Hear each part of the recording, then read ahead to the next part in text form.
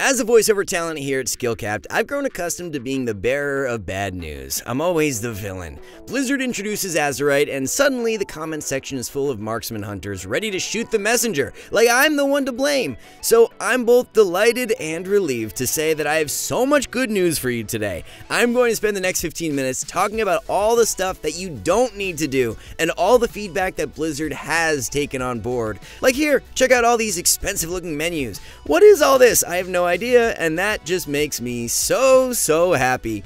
So, today at Skillcapped, we want you to enjoy this moment with us, but don't put away the notepad because there are some exciting new systems that you need to know about, including a whole separate set of PvP gear from World PvP. However, unlike Shadowlands, with all the changes to PvP scaling and how accessible PvP gear is now, you won't be able to just stop people by quickly outgearing them in Dragonflight. So, just being decked out in the best gear might make you look and feel fancy, but it still won't be enough. Luckily for you, we've spent the last few months working with some of the highest rated players in the world to create the very best guides for every class and spec, including Evoker, so you can dominate Arena and Solo Shuffle in the new expansion. From damage to defensive play and crowd control to even the most advanced tips out there, you won't be disappointed. And the best part is, you're guaranteed to climb 400 plus rating when actively using Skillcapped, so be sure to check us out after this to make your shiny new gear actually useful. Special discount link is in the description below.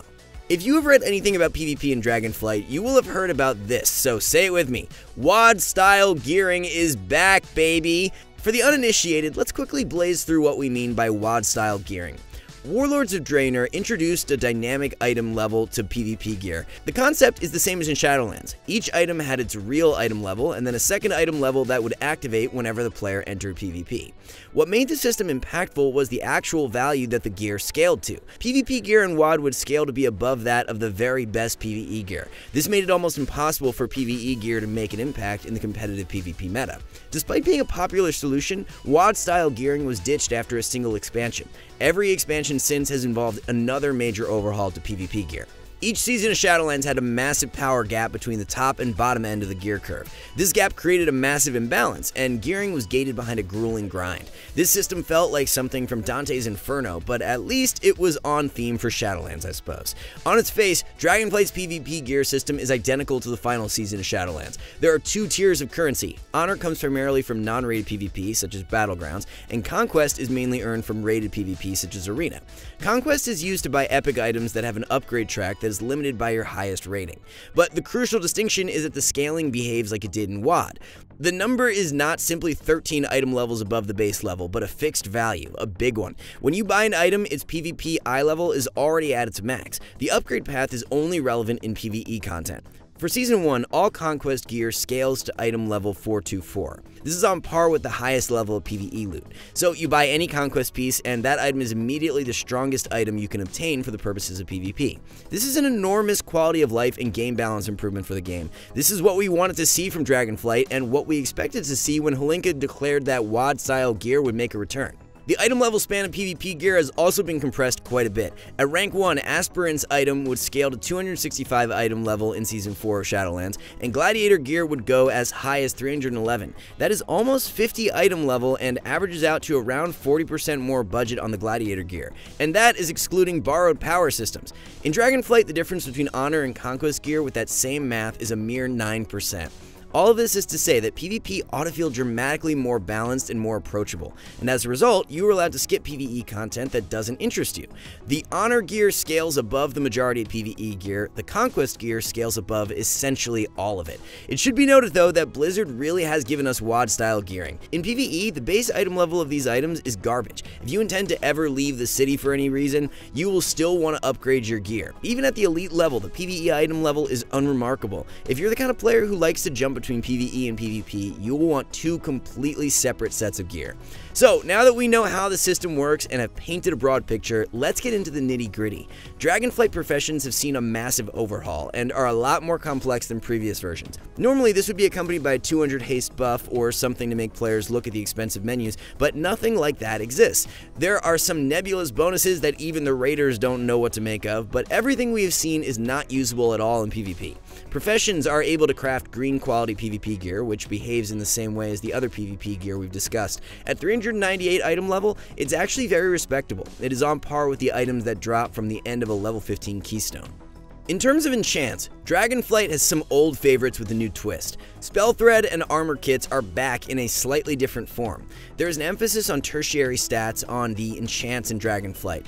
For bracers, you have the option of either 150 speed, avoidance, or leech. There's typically confusion around whether these effects apply in Arena. As you can see from our beta testing, these enchants currently give their full benefit rated PvP.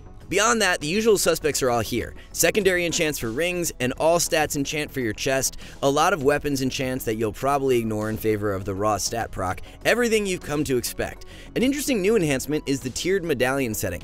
This is similar to the Eternal Belt Buckle from Wrath of the Lich King. It can add a certain number of sockets to your neck piece. The number of sockets is dependent on the quality of the setting itself, so 3 gold diamonds gives you 3 sockets.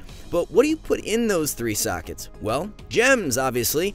Dragonflight introduces a bunch of new gems, including the return of mixed gems. Different combinations of secondary stats are available with this method, and these mixed gems have a total sum of 17% more stats than their equivalent pure cut.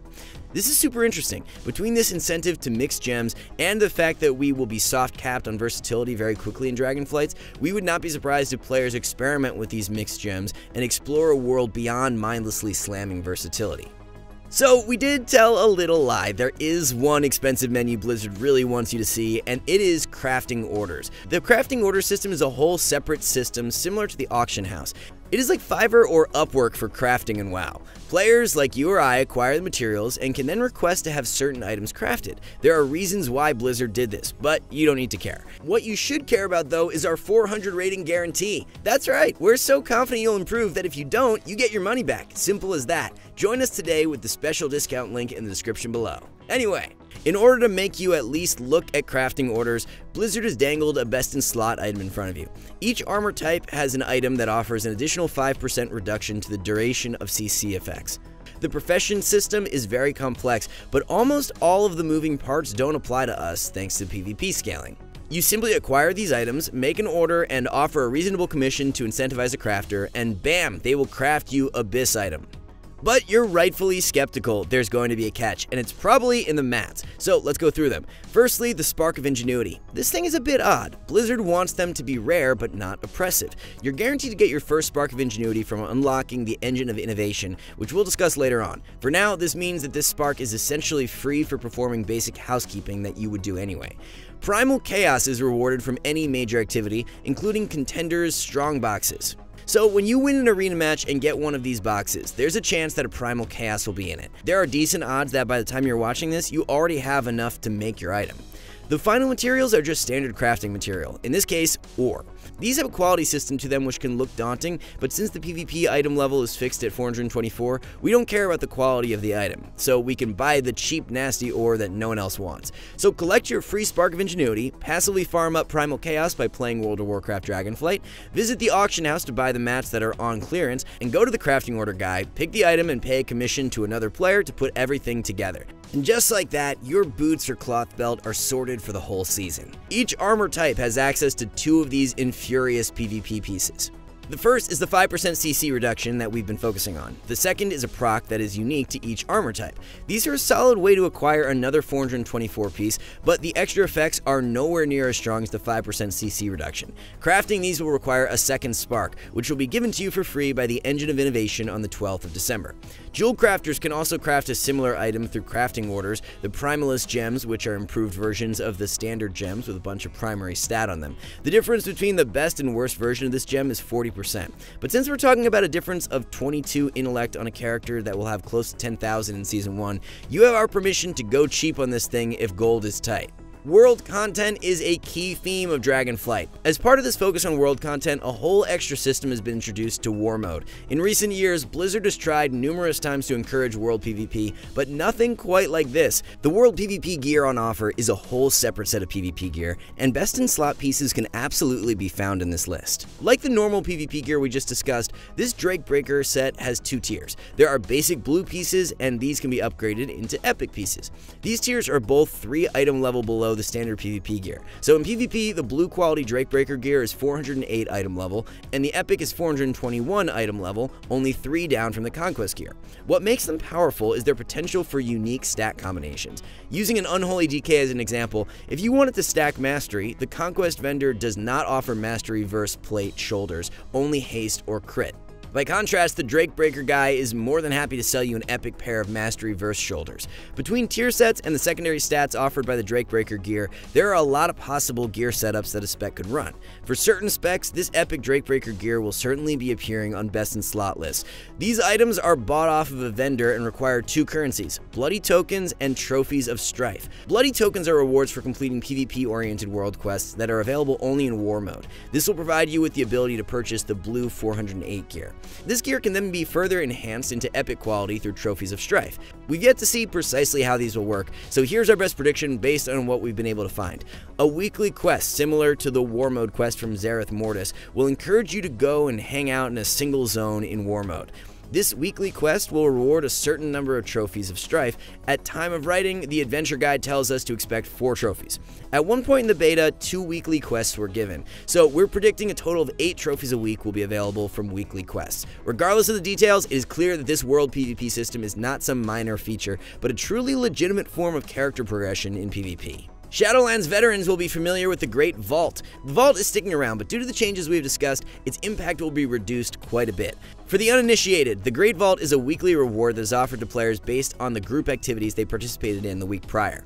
The player gets to choose a single item, where the number of choices and the power of the item is dictated by the difficulty and quantity of the content. For PvP, you simply have to earn honor from rated PvP to unlock up to 3 choices. With the WoD style gearing, your rating does not impact the gear's value in PvP, so this is a choice of one of up to 3 conquest items each week. In the past, Filling the vault could be a bit of a pain, but with Solo Shuffle, it's much less of a grind. This is the one gearing element of Dragonflight that is on a ticking clock. If nothing else, the one goal you want to achieve each week is to earn at least some slots in your vault.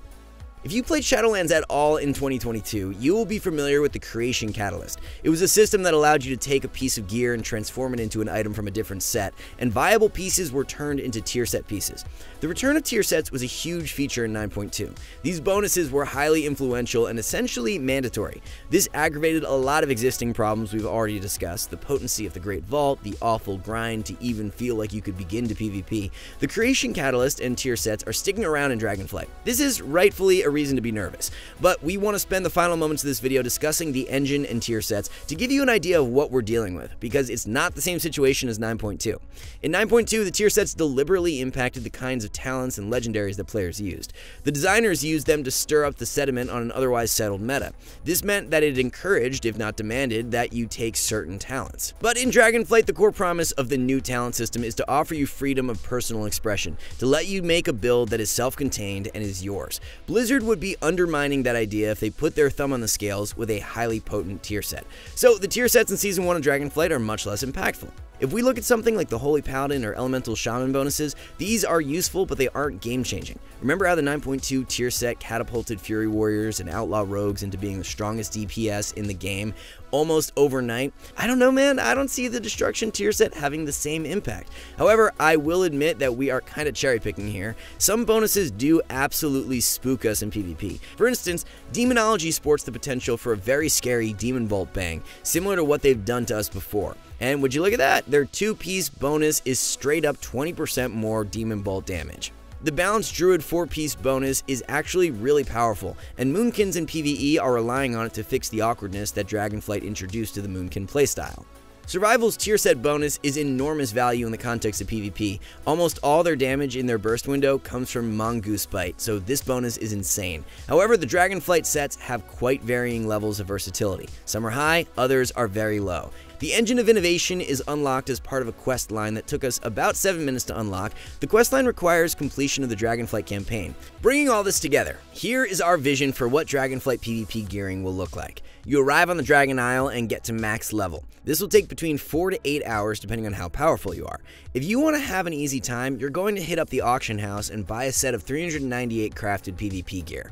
The most valuable honor gear to acquire early is a pair of aspirant trinkets to access the Gladiator's Distinction set bonus. Pick up your weekly World PvP quest, and between games, you want to work through the relevant world quests. When it comes to spending the trophies of Strife, there are two approaches. Either consider what is best for the short term or what is best for the long term. In the short term, a high impact item like a weapon is a wise use of your trophies, but if you want to think long term, you will want to think about what item will stick around for the entire season. Think back to the Unholy DK example we gave before. Beyond that, you will want to prioritize a blue quality PvP weapon which has no crafted equivalent. By this stage, you should have a full set of crafted PvP gear, supplemented with two honor trinkets and either an honor weapon or Drake Breaker weapon. This should give you a baseline of approximately 401 item level. With Season 1 of Dragonflight underway, you will want to make sure you are filling out your Great Vault slots every week. No matter your gear, an item from the Great Vault is the one essential thing you need to do each week. Go into Solo Shuffle and get beaten up, you will be rewarded with this loot. Doing all of this will build up your supply of Primal Chaos and crafting materials until you're able to place a crafting order for your first Infurious PvP piece. After that, it's a matter of getting lucky with your vault, spending your conquest points wisely, and getting your stuff gem and enchanted. And if you want a one stop shop to dominate next expansion, we got you covered at skillcap.com. Our class courses will teach you everything you need to know to get instantly started in Dragonflight.